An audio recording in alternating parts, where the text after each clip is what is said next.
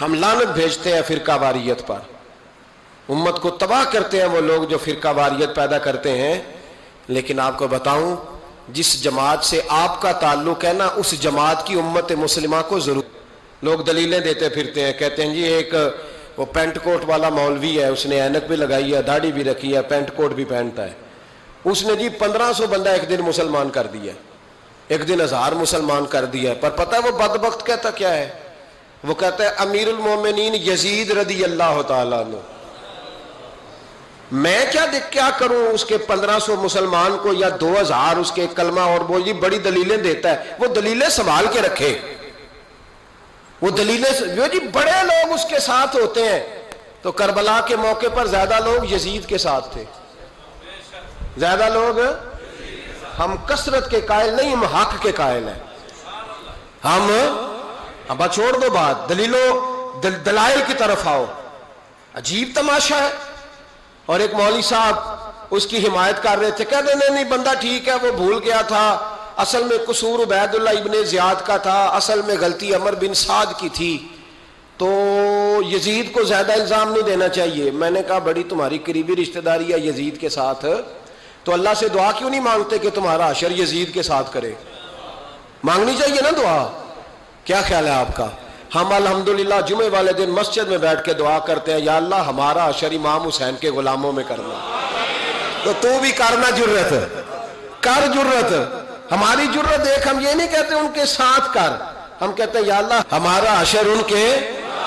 हमारी ज़रूरत देखो, हम उनके गुलामों में, कदमों में, नौकरों में बैठने को दुआ मांग रहे या अल्लाह हमारा उनके गुलामों में, गुलामों के तू भी ज़रूरत कर। कर दलेरी, कर ज़रूरत। क्या या अल्लाह मेरा अशर यजीद के साथ कर। कर दलेरी अगर इतना ही अच्छा था तो। बेशर्मो, इतना जुलम ना करो। इतनी ज्यादती, इतना जुलम ना करो। ये जुलम है। इमाम हुसैन जुमे वाले दिन खुतबा पढ़ने लगे। जुमे से पहले इमाम हुसैन ने खुतबा पढ़ा।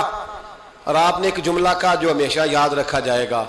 आपने फरमाया, यजीद को जाके बता दो कि मुझ जैसा, तुझ जैसे की बैत नहीं कर सकता। ओ, क्या क्या फिक्रा है इमाम अली मकाम का?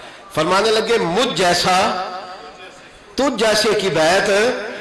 और आप फरमाने लगे, बताओ इस वक्त पूरी दुनिया में कोई नबी का नवासा मौजूद है मेरे सिवा? हज़रत आदम से लेकर मुस्तफ़ा करीम तक इस वक्त पूरी दुनिया में कोई नबी का नवासा है? और फरमाया अगर मैं ही हूँ, पूरी कायनात में, लोग कहते हैं, फलाना लामा साहब की तबलीग बड़ी है हमसे बड़ा कौन होगा तबलीग की बात करने वाला? लेकिन डरो अल्लाह से। डरो। गुमराह न करो कौम को। यहाँ तबाही उतर गई है, कोई बड़ी दाढ़ी रख के। माज अल्लाह ताला अहले बैत के बारे में बकवास करता है। और कोई बिल्कुल दाढ़ी मुंडा के, नंगा सर करके मिम्बरों पे नाचता है और सियाबा के बारे में बकवास करता है। मेरे मुस्तफ़ा के पास अगर अबू बकर आए हैं तो वो भी शान वाले हैं।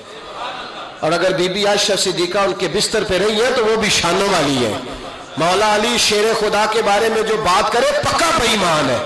अजीब तमाशा लग गया है। जी, जो रब नबी पाक के जिसम के करीब मक्खी नहीं आने देता, वो गंदा बंदा हजूर के करीब आने देता है। अजीब तमाशा है, उम्मत को तबाह कर रहे हो, काफिर को मौका दे रहे हो ये कहने का कि तुम्हारे नबी के पास बैठने वाले ठीक नहीं थे।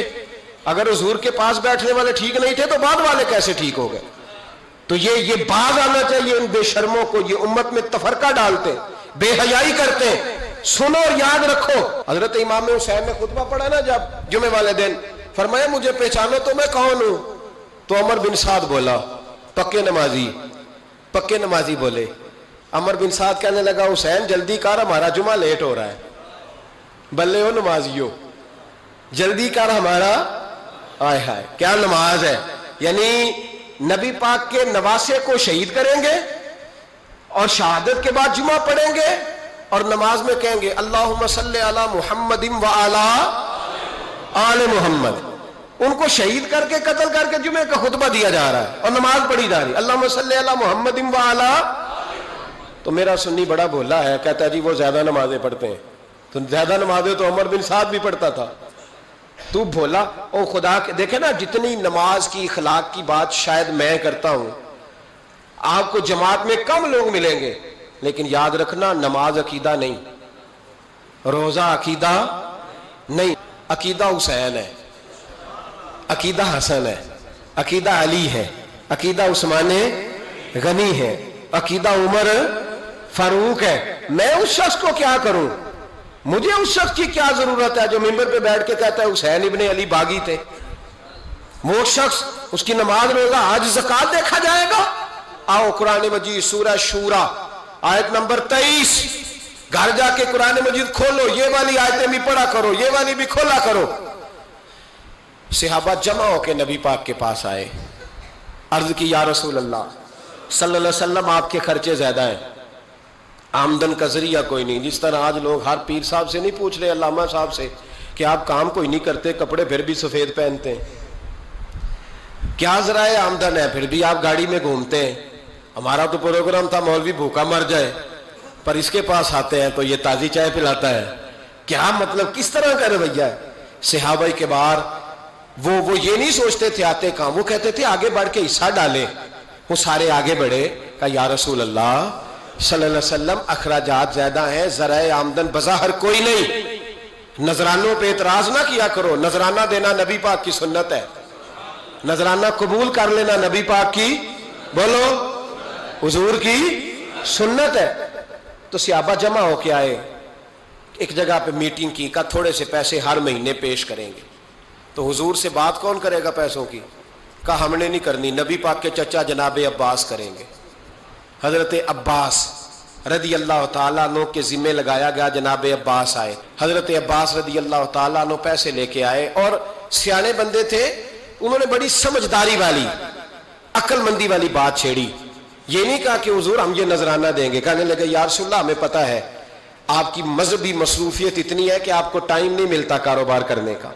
अगर आप काम करेंगे तो फिर आप किस तरह करके दीन का काम हो सकेगा? और, या रसूल अल्लाह आपने जो हमारे लिए किया है, उसका हम बदला नहीं दे सकते। एक हरफ का बदला नहीं दे सकते। हुजूर, ये थोड़ा सा नजराना हर महीने लाया करेंगे, कबूल कर ले। नबी पाक के सामने रखा ही था कि अल्लाह का कुरान बोल पड़ा। का कुल्ला असलकुम आजरा महबूब इनसे फरमा दो कि मैंने तुम्हारे लिए बड़ी तकलीफ़ सही है, पर मैं तुमसे कोई अजर नहीं माँगता। तुमसे कोई अजर नहीं माँगता। हाँ, अगर तुमने कुछ करना है, इल्लल मवद्दत फिल कुर्बा। तो मेरे करीबियों से प्यार करते रहना। मेरी खतीजा से प्यार करना। मेरी आयशा का अदब करना।